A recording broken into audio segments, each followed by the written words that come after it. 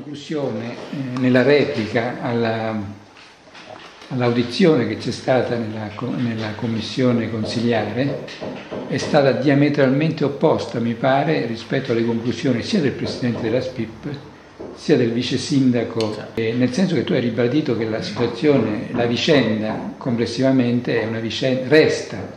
è e resta una, una vicenda molto delicata che ha molti lati discutibili. Mi vuoi riassumere questa tua valutazione finale, che è stata molto efficace, devo dire? La mia valutazione finale è nata dalle risultanze dell'audizione che hanno confermato che i dati problematici che erano evidenziati in particolare dalla relazione della direttrice dell'area risorse del Comune di Parma ma anche dalla relazione del collegio sindacale erano dati oggettivi, nel senso che in questa eh,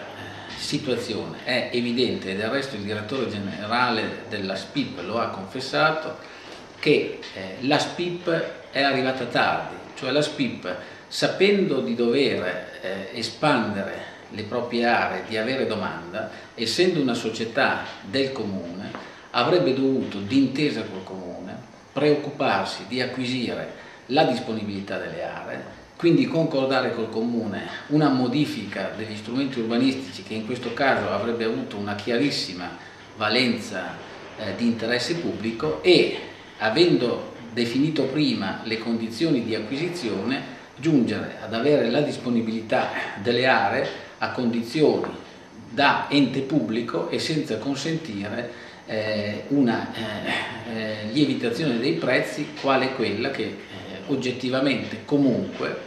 i eh, preliminari firmati dalla REG e la complessiva operazione REG dimostrano eh, al pari, anche se è vicenda tutta diversa, da quello dell'acquisto dell'area conforto. Quello che mi ha effettivamente colpito a me è che si sono invertiti i termini. Io penso che i primi a dover sapere che quell'area doveva essere eh, destinata, doveva essere la SPIP, perché è lei che programma lo sviluppo. Invece, a quanto pare, dalle relazioni del Presidente e del Vice Sindaco, sembrerebbe che la SPIP è l'ultima che è venuta a sapere eh, di questa vicenda, il che è incredibile, perché è lei che dovrebbe, appunto come dici tu, aver dato l'input di una espansione di aree a destinazione industriale. Io credo che ehm, la eh, lettura eh, che non coinvolge eh, responsabilità ulteriori sia solo quella che ha dato il direttore generale. Siamo arrivati tardi, ma se siamo arrivati tardi questo significa che c'è un'azione di, eh, di, dei, dei dirigenti di questa società che è stata eh, carente rispetto alle, agli obblighi e alle funzioni e quindi la censura forte e netta che, come, eh, che ho, ho, denunciato a, alla fine della seduta è una ehm, censura più che dovuta. Credo peraltro che sotto questo profilo chi ha ritenuto di andare più avanti sostenendo di fronte a questa affermazione ma allora dovete dimettervi ha, ha tratto una conclusione esatta, nel senso che una società eh, come questa, che ha come funzione quella di eh, attrezzare aree per insediamenti produttivi a Parma con due obiettivi. Uno, quello di favorire anche la nascita di nuove imprese e due, quello di favorire comunque l'allocazione a Parma di imprese che si vogliono espandere o di imprese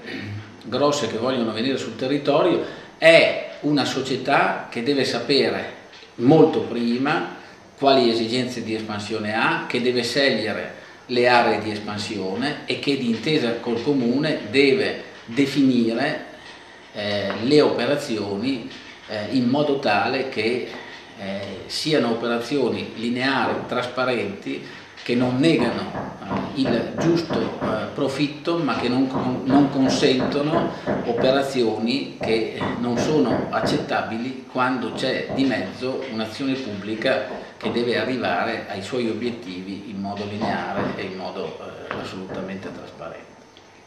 Abbiamo visto le responsabilità, i ritardi della SPIP, chiamiamoli così, ma ci sono anche responsabilità del comune del, dell'ex sindaco Ubaldi e anche del nuovo sindaco. Anche questo è un nodo molto delicato, mi pare.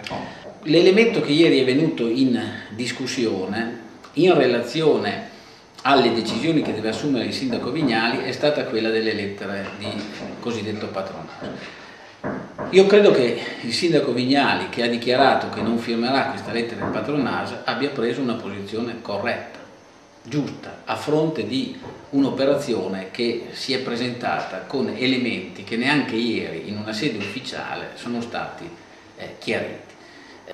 E voglio solo aggiungere una, un aspetto, perché non vorrei che poi venisse ulteriormente utilizzato in modo strumentale. Ieri si è parlato di espropri. Eh, premesso che la espropriazione è comunque uno strumento previsto dall'ordinamento italiano, tuttora previsto, tuttora previsto dall'ordinamento italiano, è evidente che eh, un ente, una società di scopo che opera come organo, sostanzialmente come organo del comune, deve usare la leva della possibilità della espropriazione per raggiungere trattative nelle quali sia giustamente contemperato l'interesse pubblico con l'interesse privato.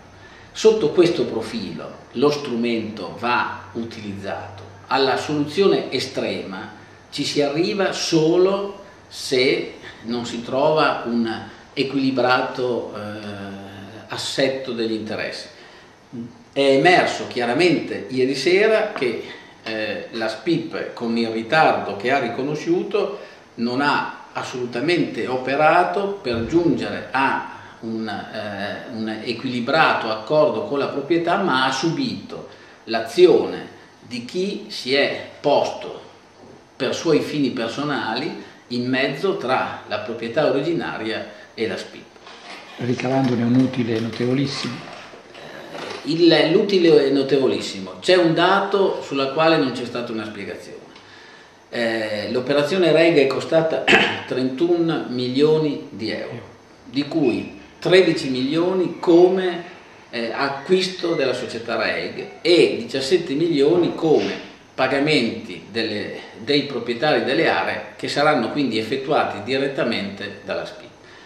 La REG è una società con 20 mila euro, no, sì, 20 euro di capitale sociale, adesso non vorrei essere inesatto ma è una cifra portato credo a 80 mila euro,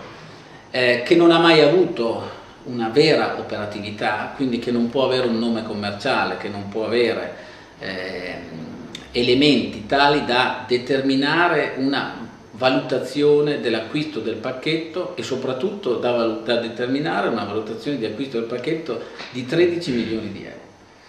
Io ho chiesto ieri che mi spiegassero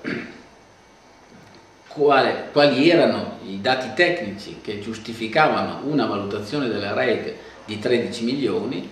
questi elementi non mi sono stati dati. Il direttore generale ha detto non importa distinguere tra una voce e l'altra, l'operazione complessiva è costata 31 milioni, quindi 60, eh, 60 euro al metro quadrato. È, è una eh, spiegazione molto semplicistica che elude il nodo. Non risponde. Che non risponde, che elude il nodo. Perché se la REG non vale 13 milioni di euro, eh, allora l'acquisto della REG, pagando per la REG 13 milioni di euro, non ha significato e allora quella cifra a cosa va imputata? Va imputata, tra virgolette, ad una intermediazione nell'acquisto dei terreni? Ma se così è, non abbiamo altro che la conferma che il ritardo eh, che il direttore generale della SPIP ha riconosciuto è eh, un ritardo che suona di per sé stesso condanna dell'azione condotta uh, dalla SPIP in questa operazione.